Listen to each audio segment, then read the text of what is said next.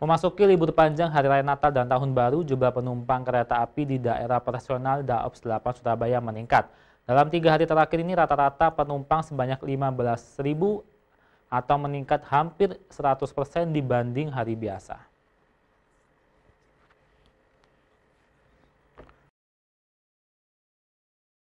Jumlah penumpang kereta api di stasiun wilayah daerah operasional Daop 8 Surabaya terus mengalami peningkatan. Bahkan dalam tiga hari terakhir ini, jumlah penumpang meningkat hingga 100% atau rata-rata 15.000 penumpang. Jumlah penumpang ini diperkirakan akan terus mengalami peningkatan hingga tahun baru nanti. Untuk melayani antusias penumpang selama libur Natal dan Tahun Baru, PT KAI Daup 8 Surabaya menyediakan 30 perjalanan kereta api jarak jauh menengah dan 64 kereta api lokal.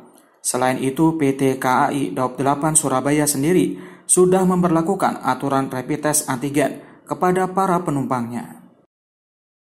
Jumlah penumpang di wilayah PT KAI Daup 8 Surabaya per harinya mencapai angka 15.000 penumpang. Ini dibanding hari biasa peningkatannya berapa persen Pak?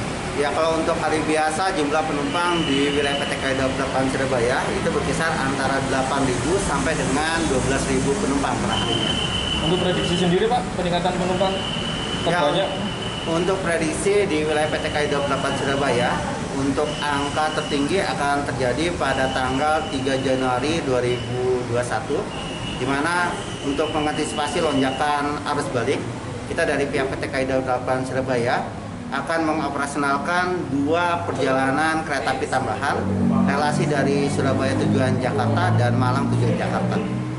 Sementara ketersediaan tiket untuk masa libur Natal dan Tahun Baru sudah terjual hampir 40%. Namun untuk keberangkatan tanggal 3 Januari sudah terjual 85%. Agung Dharma, Surabaya TV